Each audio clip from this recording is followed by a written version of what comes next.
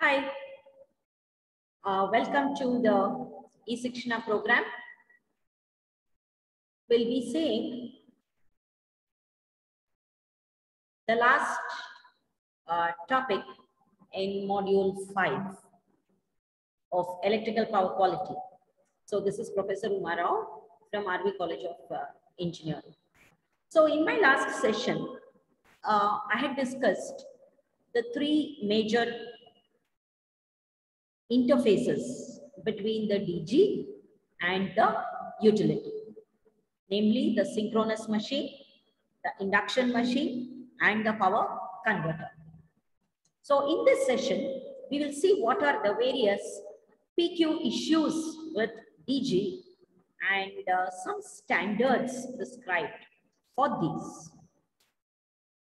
So what we are going to see is how the distributed generation is going to have an impact on normally occurring PQ disturbances. So what disturbances we will be seeing are, the first one is sustained interruptions. So interruption is when the load is unserved or there is no power to the load. So this falls into the area of reliability. If there are interruptions, my supply becomes unreliable. So many of the DGs are provided with, um, many of the utilities are provided with backup to take over the load when there is a power interruption. Now, do DGs actually help to reduce the interruption? We can't say because the DG may contribute to the faults and in fact the DG may actually increase the number of interruptions in some case. So I told you how the presence of a DG can interfere with the protection scheme and protection strategy of the utility. So in such cases, there is full possibility that the DG will actually increase the number of interruptions. The second issue we will be looking into is the voltage regulation. So here we should see how much of DG can be accommodated on a distribution feeder. Remember when I talk, when I use the word distribution generation, we are talking of the energy being geographically distributed and also occurring on the distribution side of the network. So how much of DG can I accommodate without creating severe voltage regulation problems? Then the third issue is the harmonics. So these harmonics we have seen in chapter 4 and chapter 3 how the harmonics are harmful to all the components in the system. Your transmission lines, your cables, your transformers, your rotating machines, your loads like computers, etc., etc. So how these are affected with DG. And uh, voltage sags. Can a voltage sag be improved with a DG or does it worsen? So these are some issues uh, I will be addressing in this session. So first, let us take a sustained interruptions. So the most popularly used DG for a backup is the diesel generator. So I think we all know, you know, big apartments, commercial complexes, campuses, hospitals, uh, all of them, they have a diesel generator. So there is a transfer of power from the utility to the DG, the diesel generator, as soon as the utility supply is interrupted. So rarely does the DG work in tandem with the utility. We don't normally operate a DG and the utility together. We don't do it right? So the load is transferred from the utility to the diesel generators as and when there is a disruption of the utility power. So the performance will improve and reliability will improve when these DGs are parallel to the grid. And the sizing of the DG should be such that it can supply the load entirely when the utility is off. That means no load should go unserved. So, or when a part of the utility power is lost, then the DGs can partially uh, deliver the power to make up for the loss. So what the utility is achieving by this is they are deferring the investment on capacity building. See, for example, uh, supposing now the load is 500 uh, kilowatts and uh, let us say it increases to around 550 uh, kilowatts so the utility obviously cannot increase their capacity by 50 kilowatts. It's too small. So what they can do is 50 kilowatts, they can just supplement that with a diesel generator, with a backup, right? And when the load increases further to say, so maybe, maybe 800 or so, they can add another 500 kilowatts. So by adding distributed generation, the utility can defer their investment on capacity building. Clear? And to this extent, in this perspective and context, the DG can help to improve the reliability. But very soon, you know, the load growth may overtake whatever capacity we have built with DG. And then, then it may not be sufficient. Then the only way you can go is for capacity building of the utility. Otherwise, you have to resort to load shedding. Now, voltage regulation. Uh, sometimes the DG can improve voltage regulation as the generator controls are faster and smoother compared to tap changing transformers and using capacitor banks. But then I, I discussed at length in the previous session what are the problems, other problems you will face if you use the DGs in voltage regulation mode.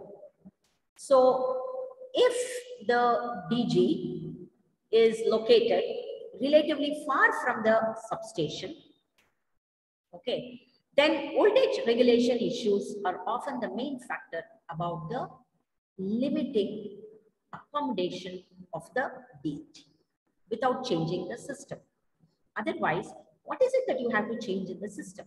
See, I already have a voltage regulation strategy and control in place on the utility side. So when I add DG, right, it is very much possible that this DG will interfere with the already existing voltage regulation schemes. Though it is faster, right? So the conventional voltage regulation you would normally have is tap changing, on load tap changing or capacitor switching. So though the DG control is faster, it may interfere with that. So we have to be very careful. And it may also uh, misoperate the protection scheme on the utility side. In general, if you have synchronous machines, because of the excitation control, the voltage regulation is possible. But if the interface is using induction machine or inverters, these two generally have very poor voltage uh, uh, regulation as they do not have reactive power capacity of their own and hence are not good for voltage regulation. Normally, utilities do not prefer, utilities, I repeat, utilities themselves do not prefer to hand over voltage regulation function to the DGs, right? There is another problem. When I have multiple DGs, after all it is distributed, no, there is no restriction that I should have only one, then these DGs may interact and this may further deteriorate actual voltage regulation. And if DGs are of small size, they will not have the capacity to regulate the voltage also. So in short, you can say that DGs are not effective in voltage regulation. They are not actually meant for voltage regulation. Now, the DG can take up the, the voltage regulation uh, duty if there is sufficient, you know, if there is a rapid change of load up and down, up and down. So this can also create a problem because the DG can suddenly disconnect, right? And when the DG disconnects, what happens? The voltage regulation will worsen. And this may pose a burden on the actual OLTCs, right? So it will take about a minute or so for the voltage to uh, recover. And if there is a fault on the utility side, the DG may even get disconnected, anti-islanding. That's what we want to do. And because of this, what happens? There might be a deep voltage sag. Clear? See, I have, I have the utility and the DG parallel. Now there is a fault on the utility side because of which there is a sag and the DG gets disconnected. Okay. And then what happens? The fault may recover and I try to connect the DG and it may result in an over voltage. It may result in an over voltage. So this issue has to be taken into account. So what I am trying to tell you is that voltage regulation will be more complicated in the presence of DGs. And don't be under the impression that the DG will improve it. In most cases, it will worsen the voltage regulation. And so we must have control strategies properly to connect and disconnect the DGs at the proper uh, time during disturbances. The third problem is harmonics. So uh, the see we have conventional harmonics in the grid due to some loads. Now what am I doing? I am interfacing uh, an inverter at the location of the DG to evacuate the power and transfer the power from the DG say to the grid. We are not talking of a standalone system uh, here. Now we may have harmonics at the switching frequency of the inverter. I told you today because of uh, PWM uh, techniques, PWM techniques. Uh, we use high switching uh, frequencies. So if there is a harmonic uh, of the order of the switching frequency, it can cause resonance. This can be reduced by uh, connecting a, a filter which can shunt off the harmonic component. If you recollect, in my previous session, I told you how LC filters are connected at the output of the um, inverter. Now, the other problem is, we discussed, the utility can effectively block third harmonic currents, that is the zero sequence currents, by using a delta connected transformer. Whereas this is not possible for a DG.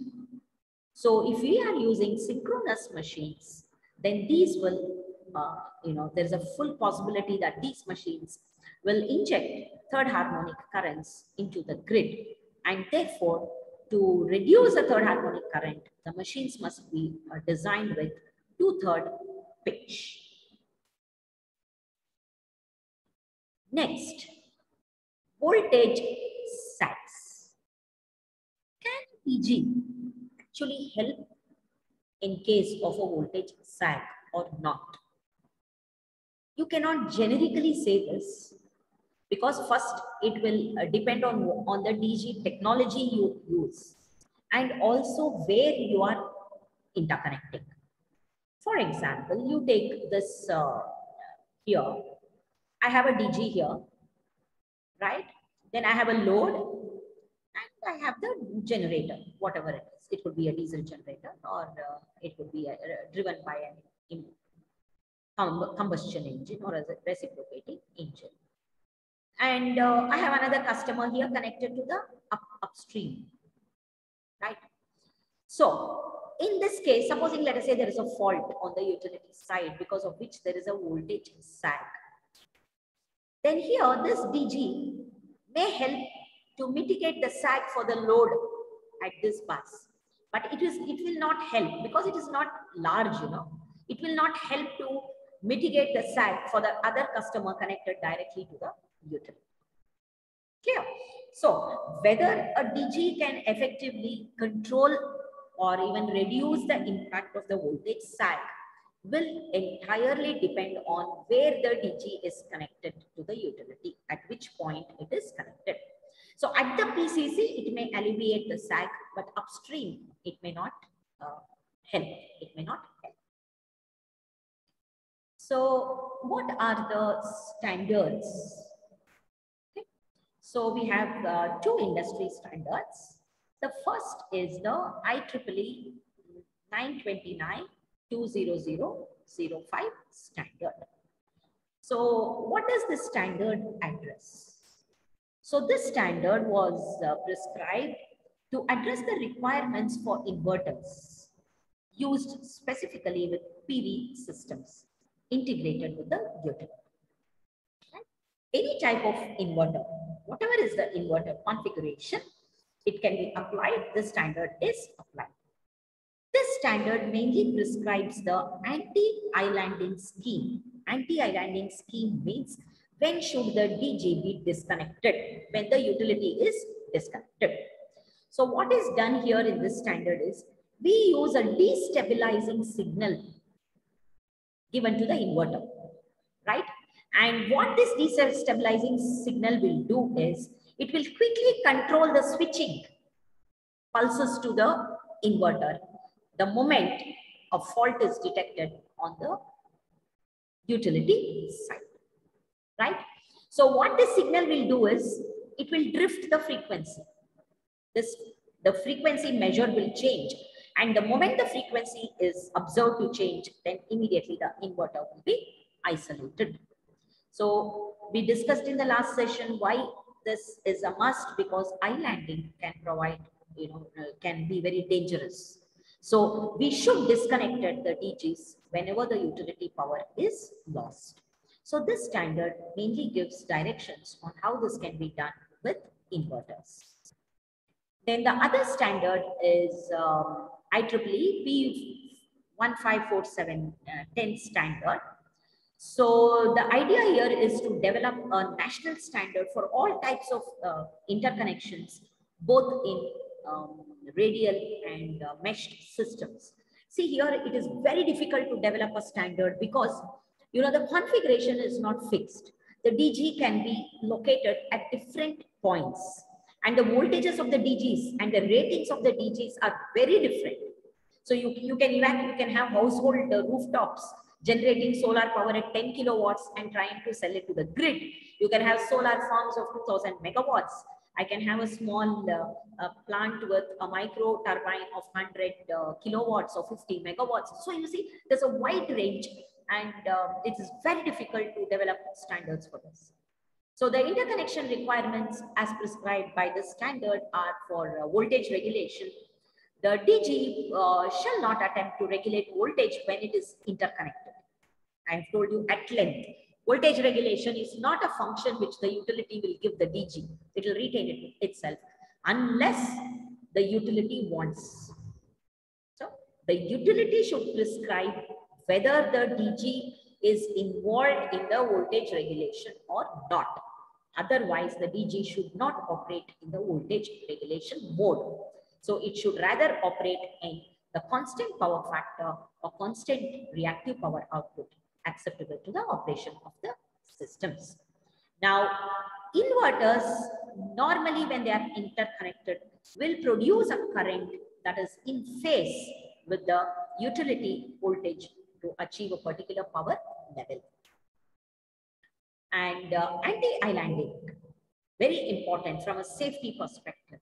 The DG shall have a relay, some, some kind of a relay, uh, you know, it, uh, which will detect the when it is operating as an island and immediately disconnect the DG from the power system. So basically what any island, anti-islanding strategy should do is, it should be able to know when a DG is islanded. What is the meaning of a DG being islanded? The DG continues to supply the load even after the utility is disconnected. So there must be a strategy to detect this condition. And the moment it is detected, the DG should be disconnected. And the inverters should be compliant with the 929-2000 standard so that they naturally drift in frequency and they can be isolated.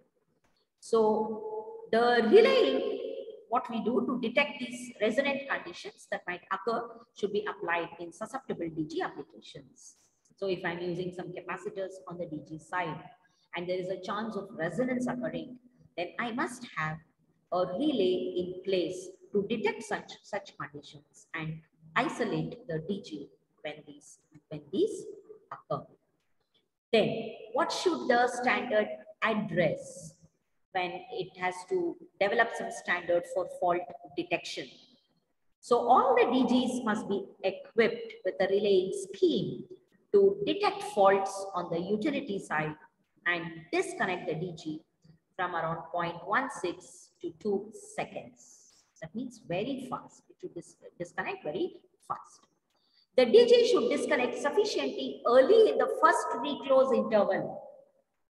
So you see the breaker opens, right? At that time, the DG should not disconnect because the fault may clear. If the DG disconnects, then unnecessarily you may have load interruption. So therefore, it should, why this 0.16 to 2 seconds is, it should wait for the first reclosure and then disconnect. Otherwise, you, will have what is called as a nuisance tripping. So when a fault is temporarily cleared, that the, when the fault is cleared, the DG need not trip. So if a DG trips too fast, then you may have a nuisance tripping because the fault would anyway clear in the next reclosure. There will not be a second tripping. So this optimal time for DG tripping should be arrived. It should be too fast, it should be too slow. If it is too fast, you will have nuisance tripping. If it is too slow, you have the problem of islanding and you have the problem of safety. So this 0.16 seconds is 10 cycles in uh, 60 hertz. So this is allowed to allow a time for faults on the transmission system or adjacent feeders to clear. See, a lightning may strike an adjacent system, adjacent parallel feeder. So the DG should not trip because the lightning will go off anyway. So at the next reclosure of the breaker, the lightning would have disappeared. So anti-DG should be still on. Supposing you have tripped the DG, DG very fast, then when, when then on the next reclosure of your parallel line, unnecessarily you would have had a nuisance tripping of the DG. It has to be again synchronized and interfaced to the grid. So this aspect is very important. And um, the standard is aiming at developing a national standard for all types of interfaces. Then direct transfer trips. This, what happens is, supposing, because the DG technology is so varied in technology and in science and rating, it is difficult to detect, uh, it is difficult to detect islanding occurring on the, on the DG side. Then automatically when the utility trips, there is a breaker connection to the DG breaker, there is a connection and the DG also trips. So this is called as a direct transfer trip. So just see here, for applications where it is difficult to detect islands, that means utility is off and DG is still supplying and utility side faults. This is one issue. Or where it is not possible to coordinate with utility fault clearing devices.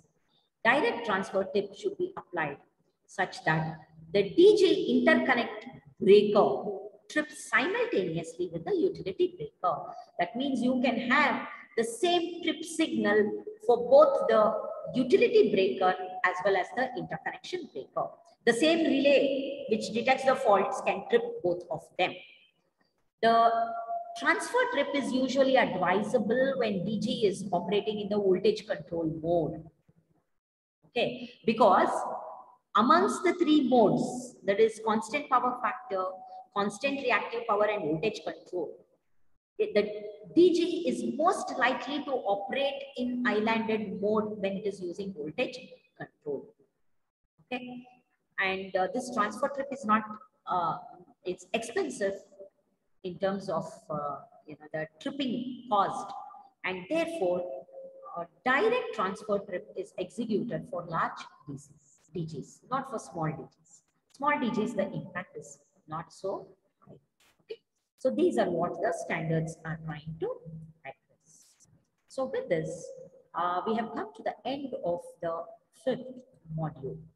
Thank you.